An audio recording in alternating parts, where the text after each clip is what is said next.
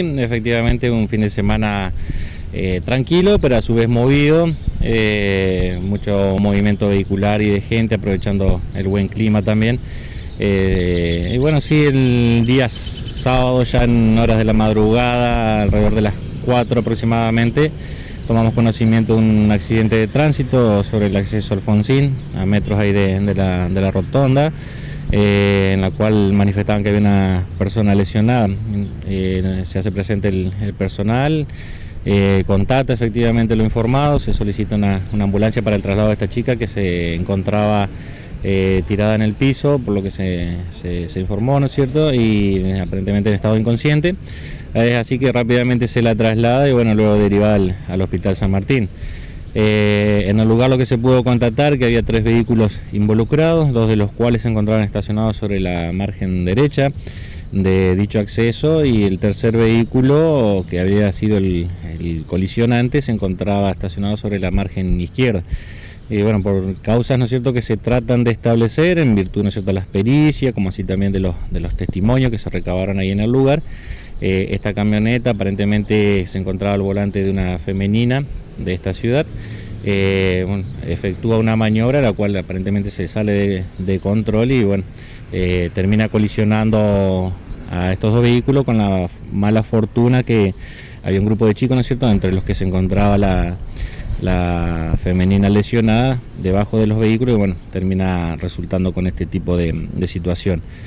Eh, una vez, ¿no es cierto?, que se toma conocimiento del carácter de las lesiones, porque se nos pone conocimiento desde el Hospital San Martín, se le da intervención a la Dirección Criminalística para realizar las, pericias del lugar, mientras tanto había sido todo preservado, eh, a los fines de no modificar, ¿no es cierto?, la escena del, hecho, y posteriormente, bueno, se logra individualizar a la persona que, este, que aparentemente se encontraba al volante de este vehículo, se puso en conocimiento de toda esta situación al fiscal en turno, el doctor Ramírez Montrul, quien dispuso la extracción de sangre y orina de esta chica.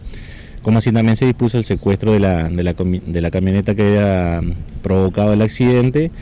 Y en cuanto a los otros dos vehículos, bueno, una vez que se finalizaron con las actuaciones, fueron entregados a los propietarios. Bien. ¿Hubo algunos otros hechos?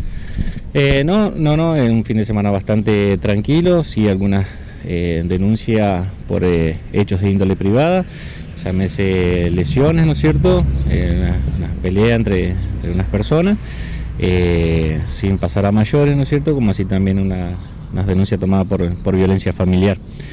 quiero aclarar que en este respecto, ¿no es cierto?, del, accidente, bueno, la causa fue elevada al, al fiscal y bueno, para tranquilidad también que esta chica el día sábado en hora de la tarde eh, ya había sido dada de alta con los estudios ¿no cierto? pertinentes que se le habían realizado, con, arrojaron resultados normales.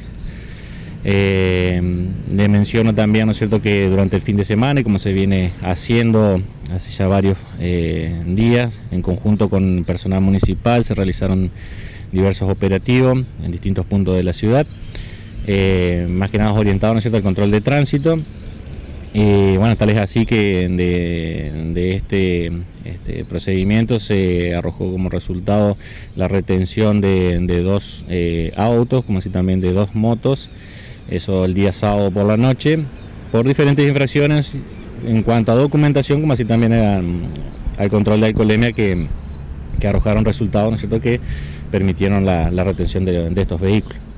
¿Ha llegado alguna notificación, ordenanza o algo así sobre los controles a quienes se reúnan?